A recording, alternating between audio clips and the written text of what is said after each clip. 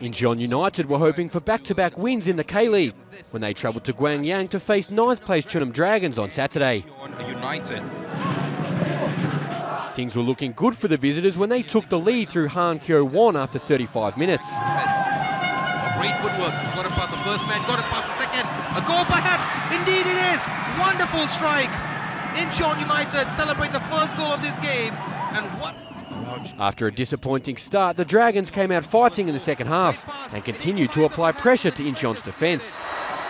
The home side were unlucky not to level the scores, but the Incheon defence was holding firm. committed for the ball, but he's lost it. Chance here, the goalkeeper with a wonderful save. The Dragons' chance eventually came in the last 10 minutes. The referee not hesitating to point to the spot after Lee Jong Ho was clumsily bundled over in the box. Lee Seung Hee taking his time before coolly slotting the ball past keeper Kwon Jung Hyuk. Oh, it's in. It's hit the woodwork and gone. The penalty proving enough to secure the home side a point. Incheon missed a chance to gain significant ground on the leaders and will be hoping for better against lowly Daegu on Saturday.